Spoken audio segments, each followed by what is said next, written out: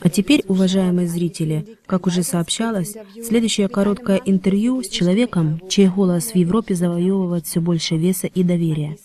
Магистр Эвальд Штадлер.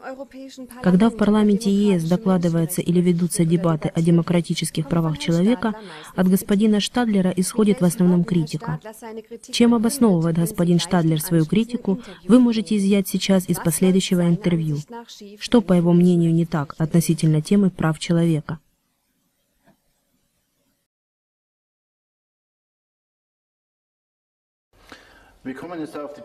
Diese äh, Рассмотрим доклады, которые часто звучат, что касается демократических прав человека. Например, в Ливии, России, всякий раз обсуждающиеся в парламенте.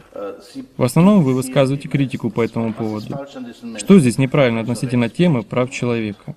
Zunächst ist es falsch, wer sie überhaupt vorträgt. В первую очередь, неправильно то, кто об этом вообще докладывает. Если посмотреть на то, что эти доклады исходят от представителей органов или партнеров, которые находятся в прямой зависимости от США, то я задаю себе вопрос, как можно кооперировать с такой страной, в которой еще и сегодня проводится смертная казнь? Где отчасти права человека открыто, что называется, топчат ногами, а параллельно перед остальным миром выступают с критикой. Это просто неприемлемо. Просто невозможно, чтобы беспилотными самолетами убивали мирное население и цинично называли это побочным ущербом. Хотя любому другому в этом мире, если у них что-то не в порядке с правами человека, сразу утирают под носом.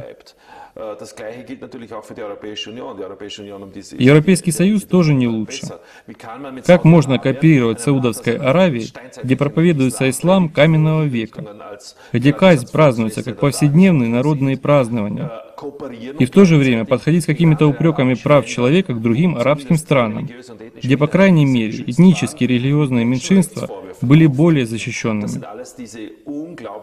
Это есть неприемлемые, морально невыносимые двойные стандарты, которыми себя украшает Запад, и этим он себя делает недостоверным. Были доклады про Россию, что там не соблюдаются права человека.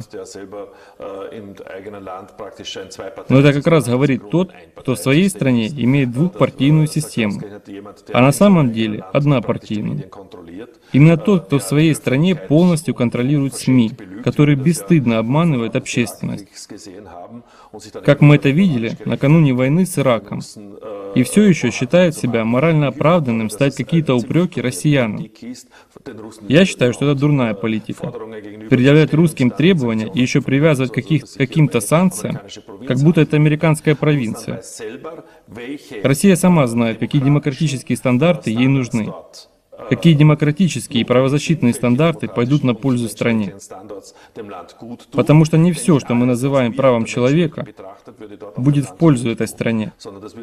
Но наоборот, это только приведет к дестабилизации политической системы и общества, чтобы потом получить ее в свое распоряжение.